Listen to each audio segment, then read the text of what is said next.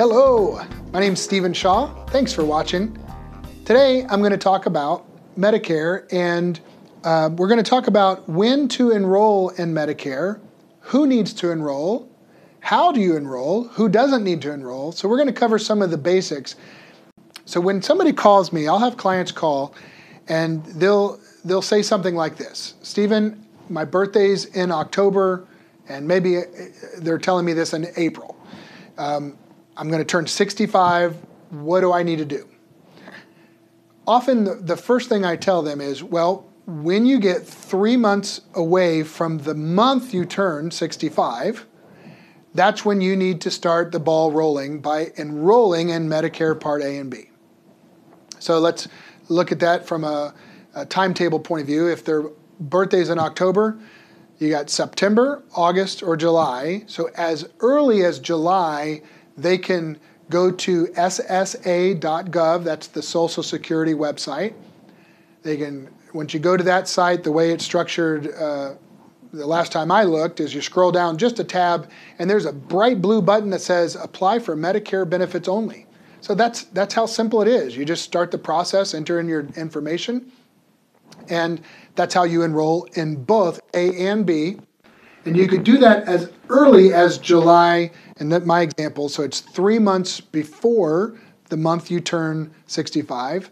You could do it the month you turn 65, and you have until three months after the month you turn 65. So there's a total of a seven month window in which you can enroll in Part A and B.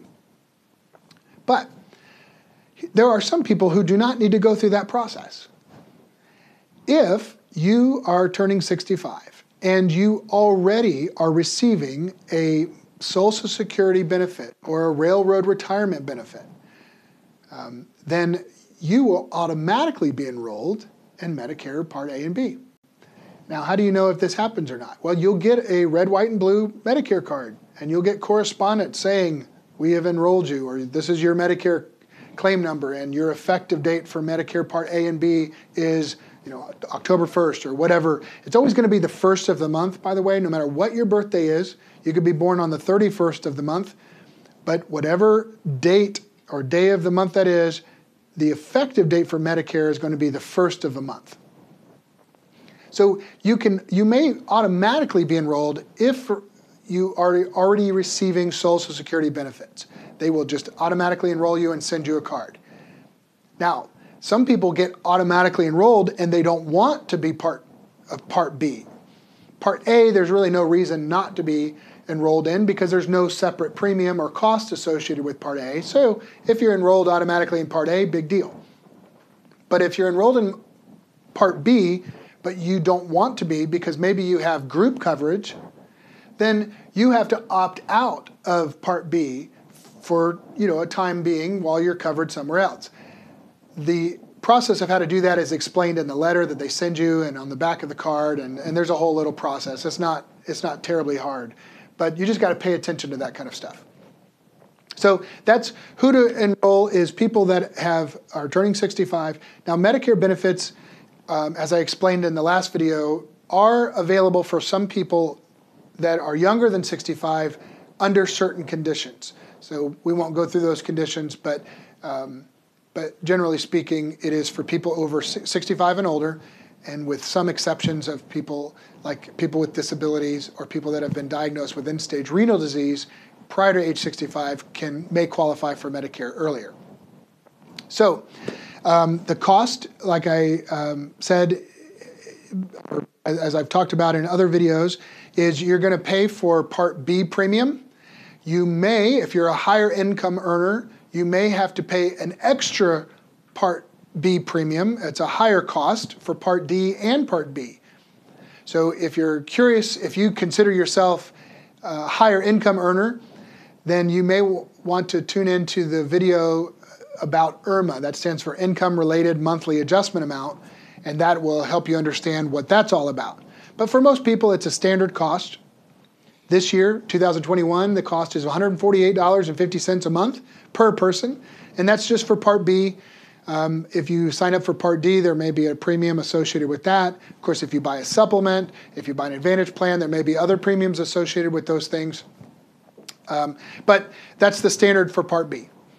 The consequences of enrolling are you get the benefits from Medicare. The consequences of not enrolling are simply couple things. The obvious thing is, if you don't have, if you're not enrolled in Medicare, then you don't get to benefit from Medicare's at all, right?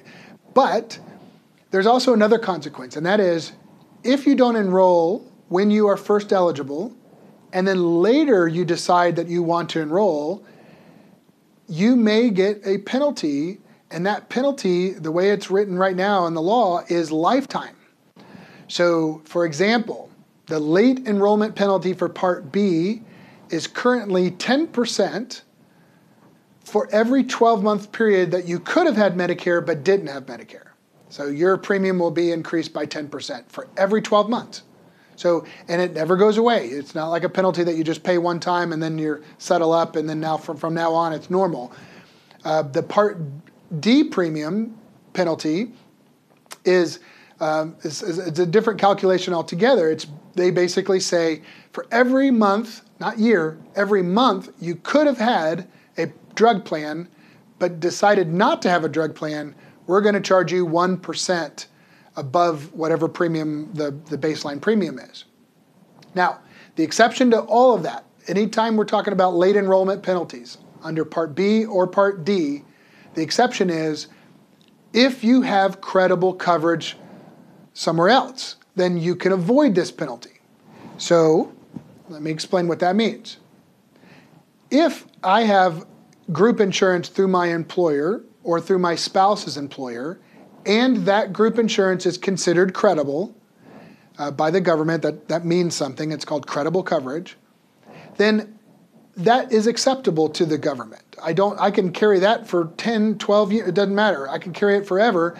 And as long as I have that, the whole time between the time that I was first eligible for Medicare and the eventual time that I lose my credible coverage and sign up for Medicare, as long as I have credible coverage and can prove that, then I avoid all those penalties. But notice I say that I, I can prove it. So the burden is on you to prove, if you go that route and delay coverage, you have to prove to the government that you had credible coverage. They're not going to chase that down for you or assume it. You can't just simply say, I had credible coverage. Oh, okay, very good. Then we won't charge you these late penalties. No, they're going to want evidence to show that you had credible coverage. Now, how do you obtain that evidence? Well, you either go through your human resource department or through the employer's resource human resource department, or you can go to the, the insurance carrier directly. Either way, they should be able to provide credible coverage evidence. But again, it's all a time thing. So if um, so if I have a client that turned 65 in 2017 and they've continued to work and continued to be under their group plan, and let's say that that happens until 2023. Then they quit and call me up and say, Stephen, I'm leaving my job, I'm retiring finally, and I need to get on Medicare. So, how do I do that? Well, I'm going to still direct them to the Medicare or the Social Security website to enroll, but my caution to them is okay, uh, we'll call him Bob. Bob, you you you've got to know that you could have had it when you were 65 and you decided to wait for you know an extra seven years you're going to have to prove that so make sure that you get something from the human resource department that has evidence of coverage for all of that time not just one year not just for the initial year but for every year and every month uh, between that, that time span and if you can do that successfully, then you will avoid all the penalties. But if you can't, then they uh, Medicare will penalize you. So you want to avoid that.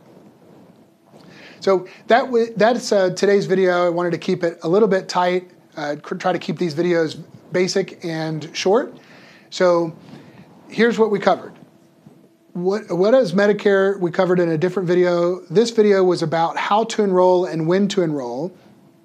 Um, and, in future videos, we'll talk about a few other nuances, such as uh, we'll unpack a little bit more clearly the differences between Medicare Advantage plans and supplement plans, and uh, how to get those and when to get those. Uh, drug plans are a separate conversation altogether. So, anyways, there's more to come, but hopefully you found this helpful. Thanks. Bye bye. On our channel, we have more than just Medicare videos. We also have a playlist, Strategic Money Tips. They cover other areas that are very practical. We try to keep them very brief. Go to our YouTube channel, subscribe, click on notifications button so that you'll be notified when we put out a new video. But if we could serve you directly, please call our office 1 800 381 8870 and visit us on our website at strategicestateplanning.com.